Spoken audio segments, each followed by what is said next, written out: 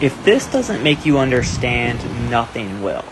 So, this was a typical day after Hurricane Ian. We had no power from the grid for eight total days.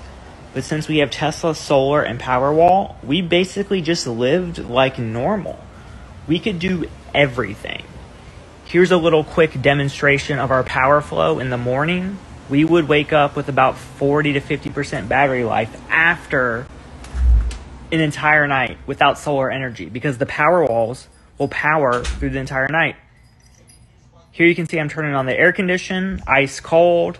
I'm coming in the kitchen. I'm making breakfast. Like it's all running at the same time, like we have grid power. But this is solar and Powerwalls. Also, we have the fridge running, the ice maker running, the lights running, the TV running. It's everything. It's like we never lost power.